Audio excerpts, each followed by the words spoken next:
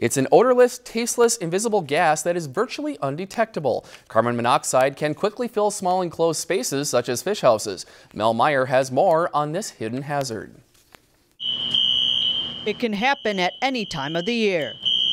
But carbon monoxide incidents are especially common during the winter months when people are trying to get warm. So anything that burns is going to give off carbon monoxide.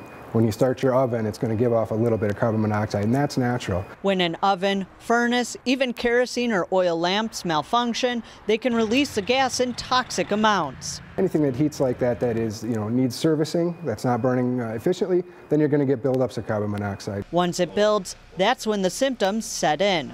If you're feeling the, the flu-like symptoms, the nausea, dizziness, and worst case scenario, if, if somebody starts to pass out or lose consciousness, you need to get to fresh air. AirMed rapidly responds to calls along with other first responders. Once they arrive, it is important to have some information available. Name, date of birth, medications, um, a very clear history of what has happened really helps. The medical team will give oxygen or push air into the lungs until they can get to the hospital.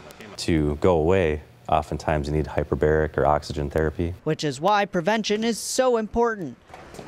The only way to detect the gas is with a carbon monoxide alarm. Luckily, most of the carbon monoxide calls the fire department responds to turn out to be false alarms. You really don't know if the detector's bad or if you have it, so it's easy for us to come up and, and check that with our monitors. A simple carbon monoxide alarm like this one can run for about $20 at a local hardware store, up to about 50 for one that also alerts you to smoke and fire.